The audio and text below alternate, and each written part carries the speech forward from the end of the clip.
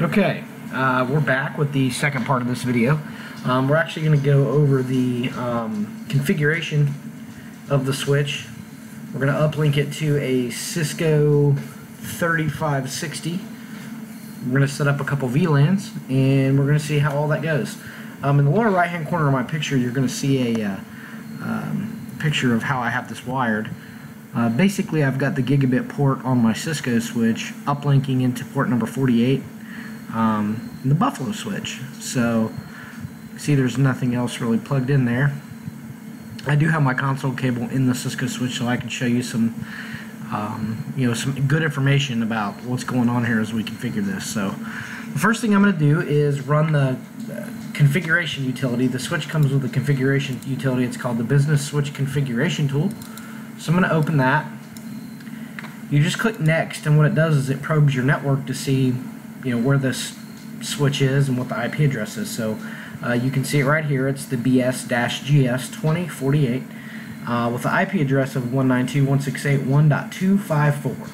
I don't need to really do anything else. It'll create a nice little shortcut for me on my desktop if I wanted it to, but I, I this is the default IP address and the default username and password is admin and password. So I'm just going to cancel out of that and I'm going to go ahead and pull up my Firefox window. And from my Firefox window here, I'm just going to type in the IP address.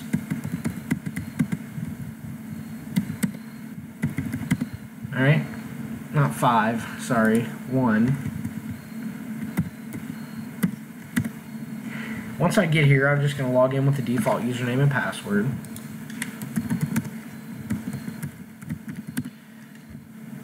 And of course, you're to, if, if, you're deploying this in a business environment you're using multiple switches, you're to want to name this, okay? The very first thing we're to do is we're to go in here and we're to name this switch. Uh, we're to name it TFO SW1. Actually, we're to name it um, TFO BUF SW1. Location uh, TR11. Um, and contact John Lay.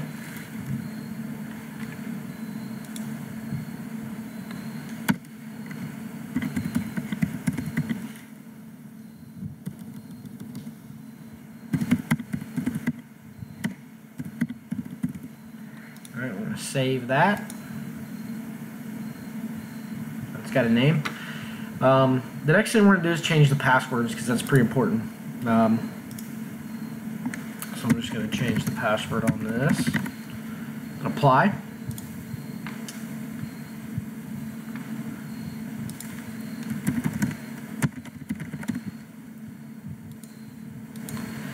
Now, the other basic setting you want to check is make sure your date and time is right. Okay, see this date and time is not right, so we want to make sure that's right, especially if we're going to hook this up to a syslog uh, server or something like that.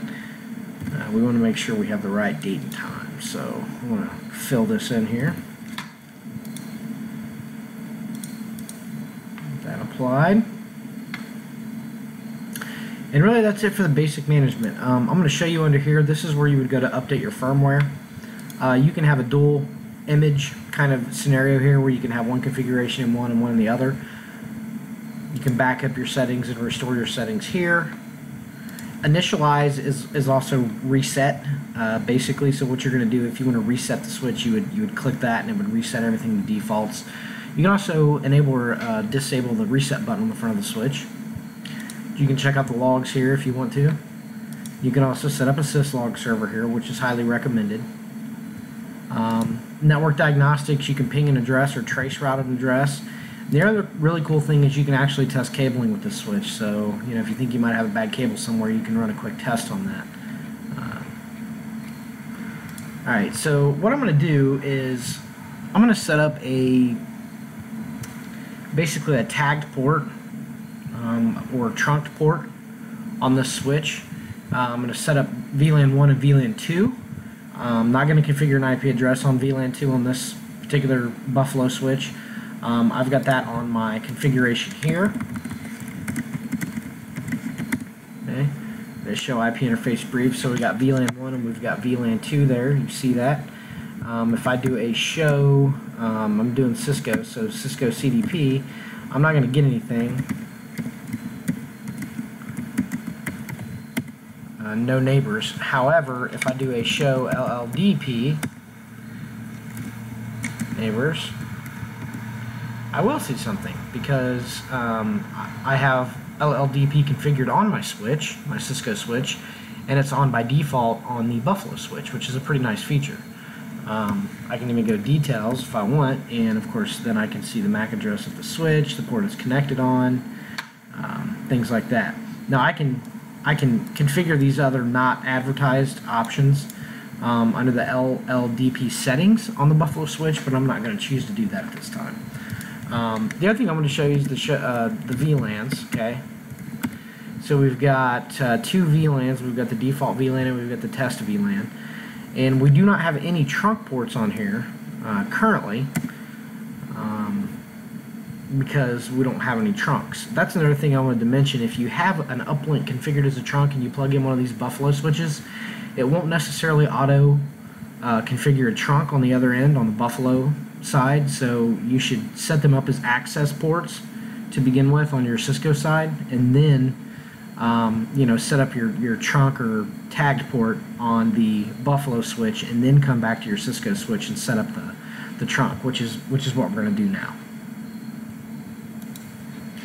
So I'm going to go in here to VLANs and I'm going to go to VLAN settings and I'm going to add VLAN 2. I'm just going to name this test. Alright. I'm going to apply that. Now notice on my picture here I've got my uplink plugged into port 48. Alright, so I have VLAN 2 here.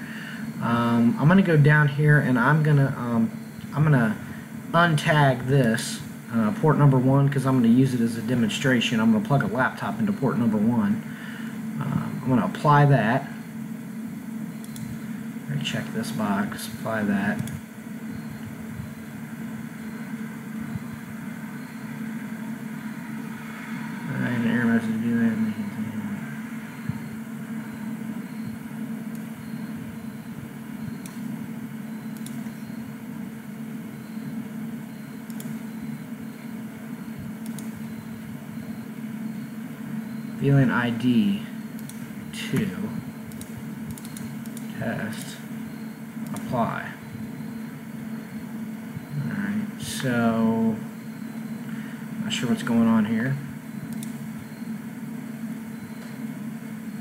I'm going to go to VLAN ports and I'm going to change this to uh, 2 for VLAN 2 and I'm going to apply that.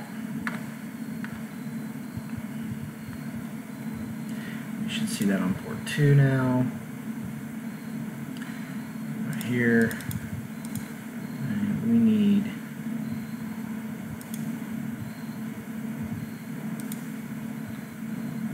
That's why I did wrong. So I have to click that, click edit, and then do untagged, and then apply. Alright, so now we're good. We've got VLAN 2 um, configured untagged port on port number one. So we can plug a laptop in there in a minute to do a demonstration. Now my uplink, I'm going to make it a tagged port. And again, I said my, my uplink was in port number 48. Alright, so I'm going to go over here. I'm going to say this. Sorry, here. And I'm going to say edit. I'm going to come down here to port 48 and I'm going to make it a tagged port. And I'm going to apply that. Now I am going to lose connectivity to my switch when I do this. Okay. see here that I'm going to lose connectivity because what I've done is I've turned that into a trunk port. Um, Buffalo switches support .1Q encapsulation by default, so I'm going to go to my Cisco side now. And I'm going to go to configure T, I'm going to go into interface gig 01. I'm going to switch trunk encapsulation dot 1Q, hit enter. I'm going to switch mode trunk I'm going to shut it down. I'm going to no shut it down.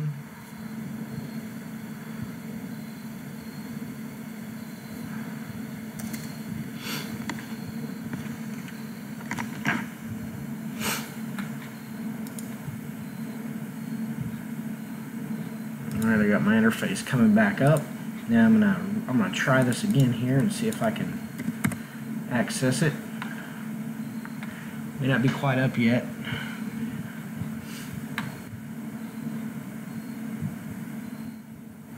Take a minute.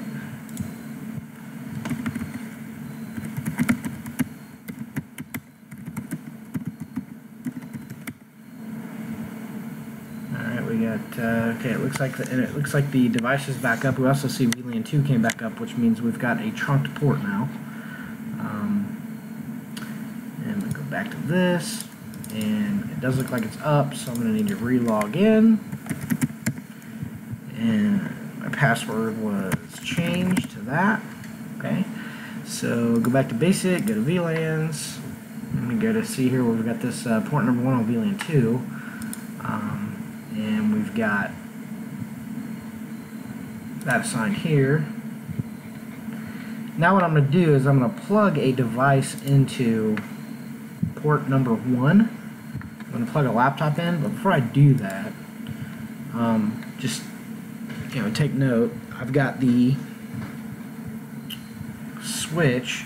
I've got the device that I'm plugging in is actually plugged in over here. See that right there, that blue one, it's in number one, and that's going to a laptop, okay? Um, so what I'm going to do here is turn on debugging for DHCP server events. Um, and I'm just going to show you your uh, my DHCP pool here.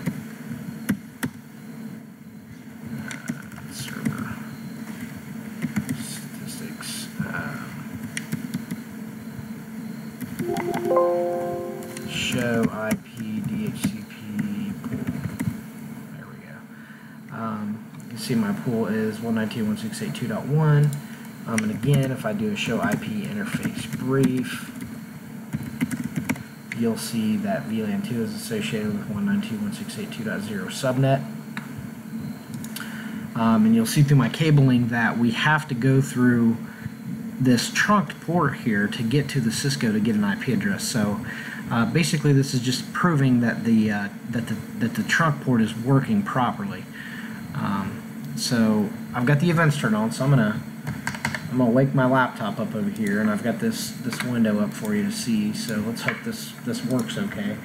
Gonna plug this in.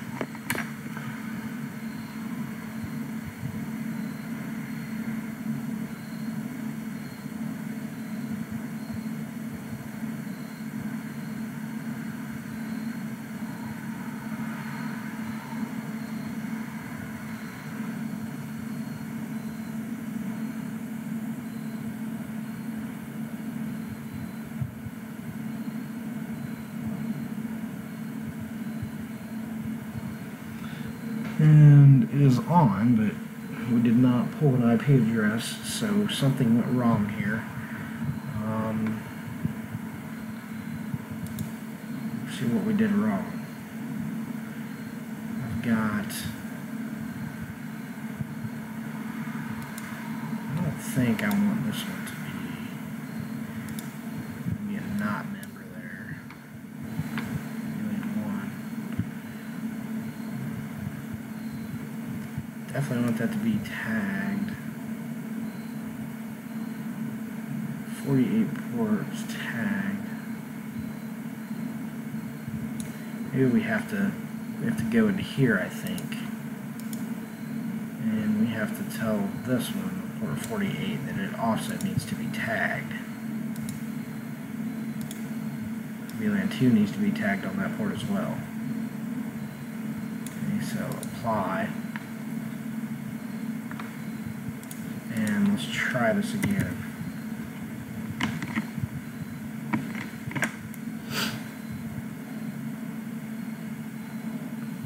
There we go.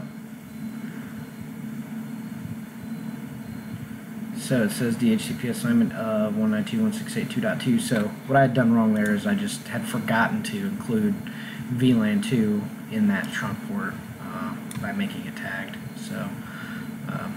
basically, you want all your VLANs if you want it to go across that uh, um, that trunk, you have to tag it. So anyway, that's a little bit about setting up multiple VLANs on the um, Buffalo uh, BS-GS 2048.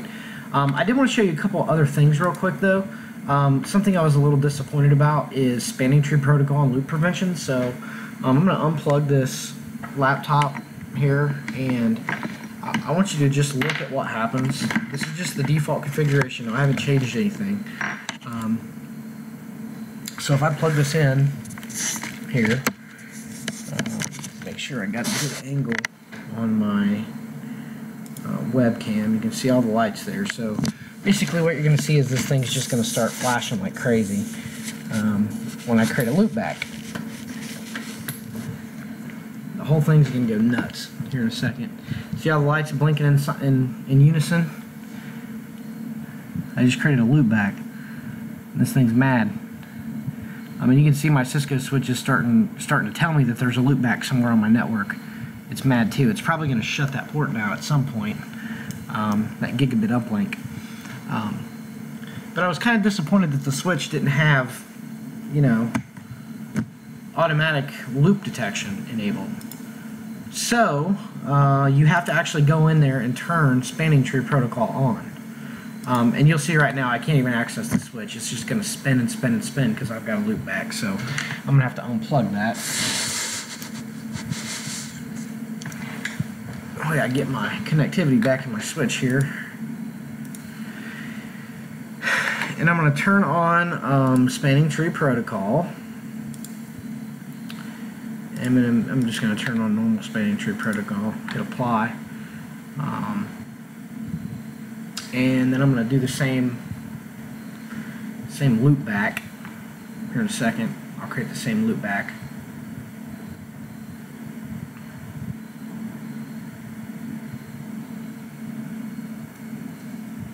As soon as it gets done. Takes a second for these settings changes to take effect.